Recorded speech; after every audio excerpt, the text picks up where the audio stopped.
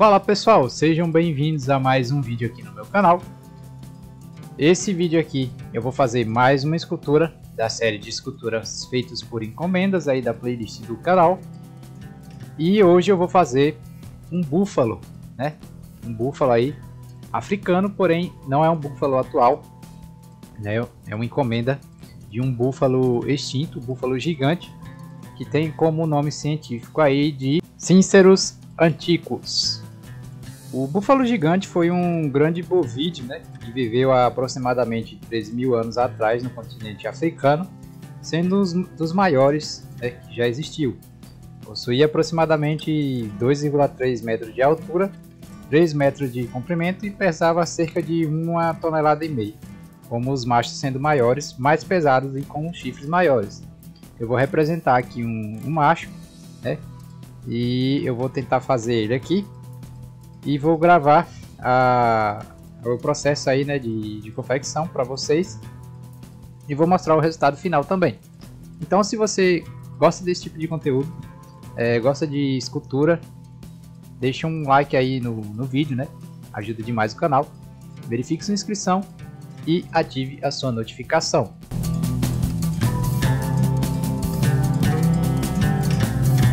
Já comecei aqui fazendo o volume do corpo fazendo a base usando o papel alumínio e esqueleto de arame. Já falei sobre essa técnica aí no, no canal, né? No tutorial que eu fiz esculpindo um tiranossauro. E esse tutorial não só serve para quem quer fazer um dinossauro, né? O próprio tiranossauro, como tem muitas dicas assim sobre escultura de animais, principalmente. Para quem quiser fazer, né? Podem dar uma assistida lá no tutorial. Aqui eu já vou cobrir a primeira camada de massa, né? Do, do biscuit e ela serve como base para fazer a textura.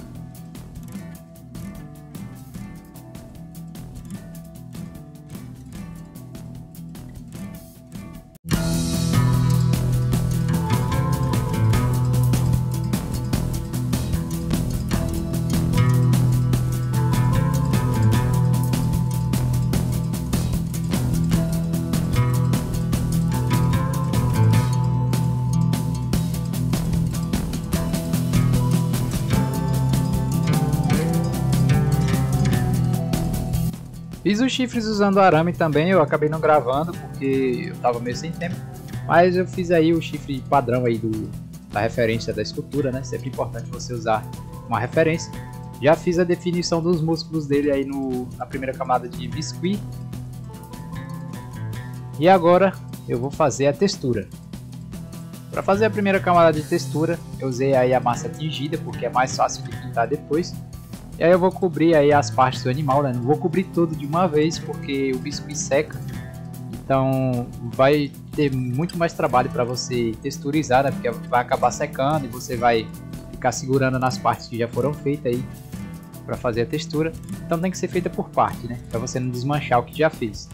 Eu vou começar aí pela barriga, porque assim eu posso é, usar as outras partes do bicho aí, a cabeça e a traseira dele para me apoiar, né? Para texturizar. Eu vou começar só fazendo a barriga aí por enquanto, cobrindo aí com a massa do biscuit e modelando aí a musculatura, né, baseada em imagem de referência que eu tô olhando aí por enquanto, não dá pra ver no vídeo, mas eu tenho sempre uma referência para olhar. Feito aí a parte da barriga, eu deixei secar. E aqui eu já estou fazendo uh, a textura dos ombros dele aqui, da, das patas da frente, né, das dianteiras. E eu já vou fazendo junto aqui a musculatura. E o cliente me pediu ele bem musculoso, né? Bem bombado aí. Um animal selvagem que é sempre ativo aí.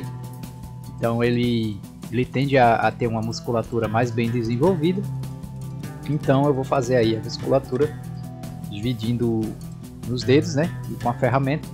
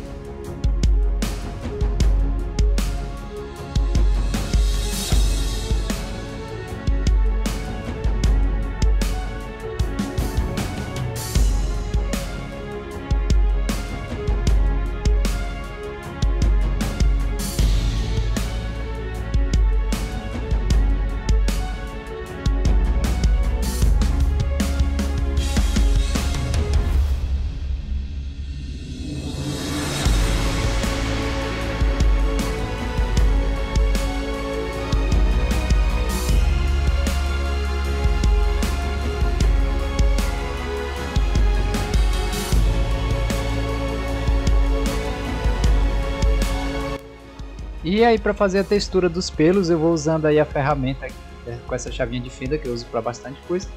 Também eu vou usando um tecido né, para fazer o, os pelos dele.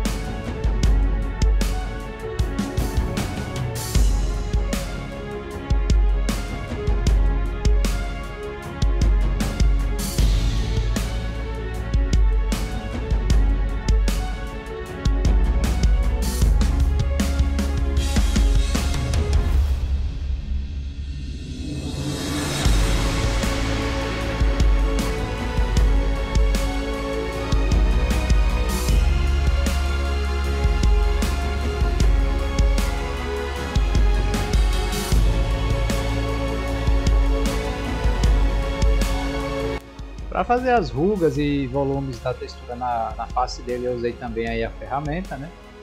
Fazendo aí a textura por acumulação, onde eu vou acrescentando uns pedacinhos de massa, fazendo cada volume aí, né? Da, dos olhos dele, tal, do focinho.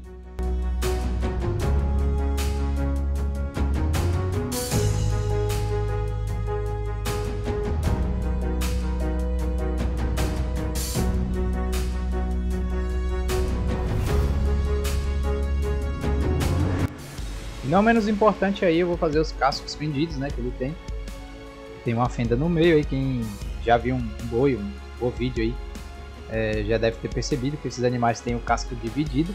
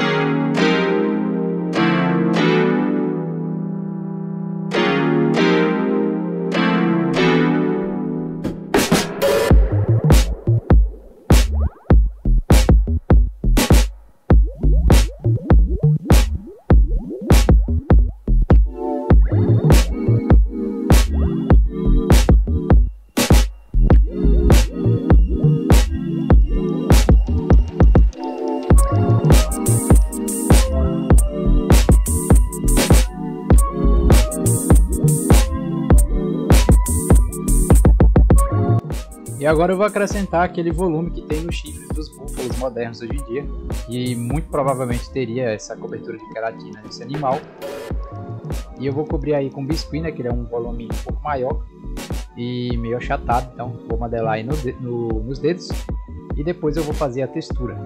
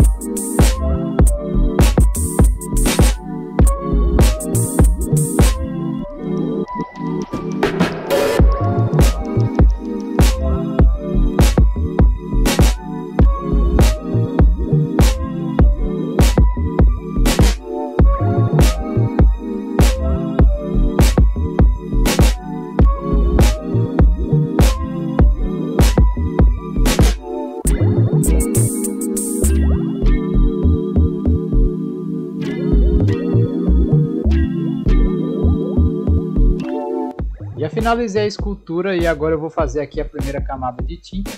Eu vou usar o preto fosco e vou cobrir toda a escultura é como padrão. Geralmente esses búfalos africanos ele tem uma cor mais escura mesmo, mais voltada para o preto. E a referência de cor que o cliente me pediu para fazer é baseada nesses animais modernos. Então aí eu vou fazer né, essa primeira camada.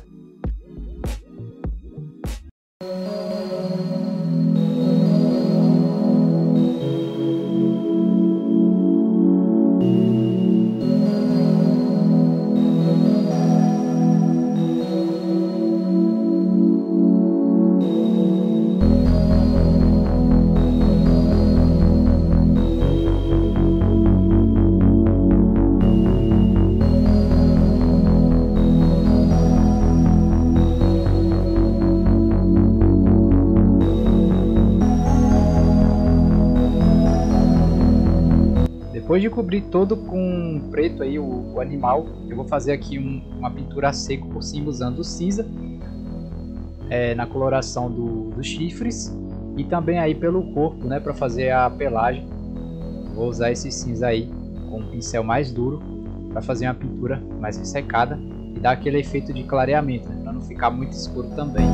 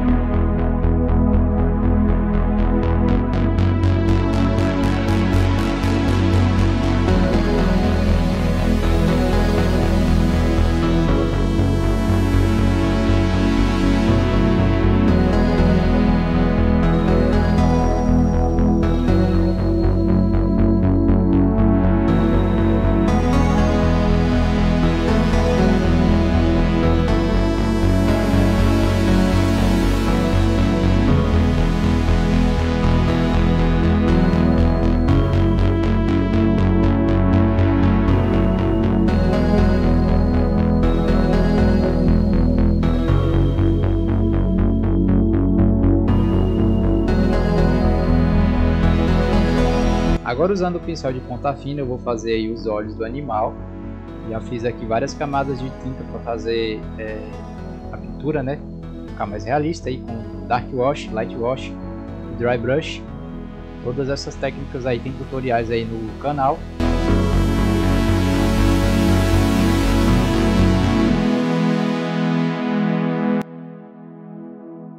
E eu vou finalizando aqui mais uma escultura Vou deixar o resultado final aí para vocês. Você assistiu até aqui, não esquece de deixar o like comentar o vídeo, isso ajuda demais o canal. É, compartilhe com alguém se possível também. Fique aí com o resultado final da escultura, um abraço e até o próximo vídeo.